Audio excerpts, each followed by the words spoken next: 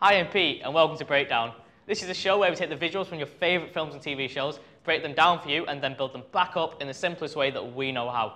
And with Game of Thrones Season 5 having just wrapped up, we thought it'd be a great time to explore one of our favourite and often unnoticed visual effects from the show. And in case you missed it earlier, here it is again.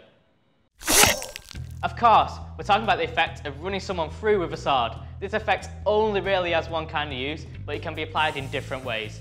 One of our favourite examples from Thrones is where it's used to drive a dagger through a face or to decapitate a horse. Now, we can't show you the clip, but we'll leave a link in the description to take you to a VFX breakdown that shows it in action. So, how's it done?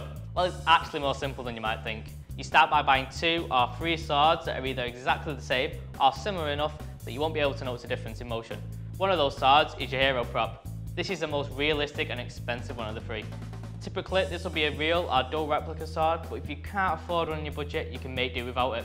The second is your stunt prop, the one you'll see when it's being swung around near your actors. This one only has to look good for a middle to wide focal length. That's because they're normally made of foam, so it doesn't hurt if you hit someone with it.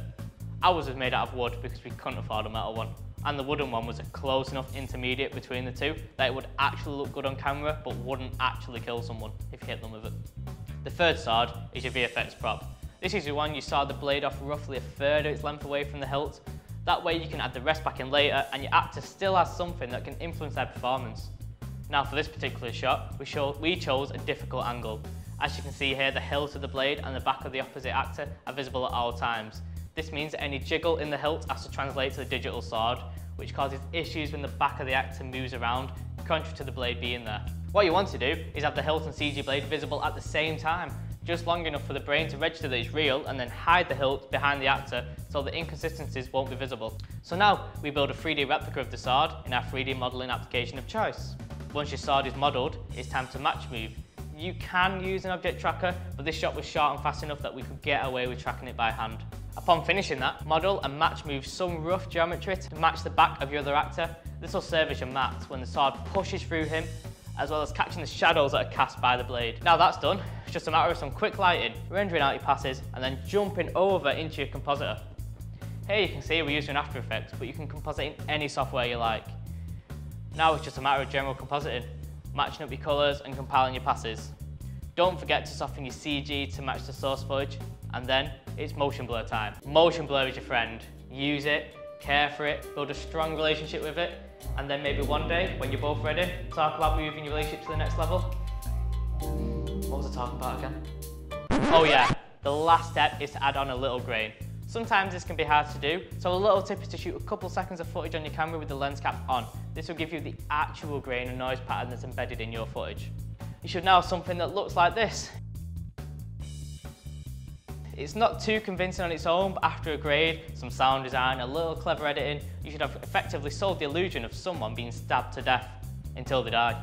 And as a footnote, if you're actually taking a dive for you, intentionally or not,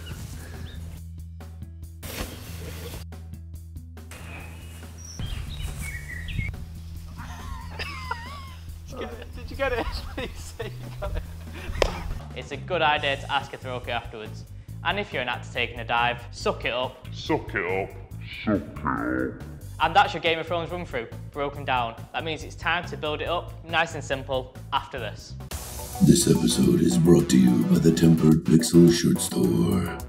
Brand new film and TV themed shirts available every T-shirt Tuesday. Discounted for the first 24 hours. Favorites include Fix It On Set, Render Time, and Roto Monkey.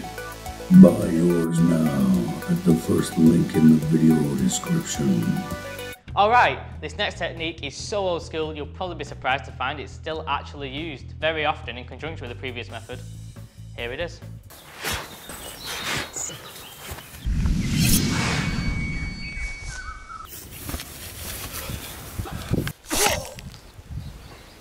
I know, right? You just shove it under their armpit, it's literally child's play. But that said, there's a couple of simple tricks to make sure it translates well onto camera. The first of which is perspective. The action needs to happen parallel to the camera. If the angle is off, it becomes painfully obvious that you're doing it. And if you look carefully at some of the crowd battles of Game of Thrones, even they're guilty of it. The second trick is your focal length. Using a wide lens will pull this trick apart at the seams. but a telephoto lens will compress this space and push everything it sees closer together. This way, even if you're missing the action by a wide margin, the shot looks convincing the added bonus of nobody being stabbed. This is the same technique often used to sell punches in fight scenes and it's so simple that anyone can use it. And that's a wrap. You're now fully prepared to make your own epic fantasy worlds come to life. I suppose a screeching halt, depending on how you look at it. Let us know what you think we should break down next in the comments below, and don't forget to subscribe to us.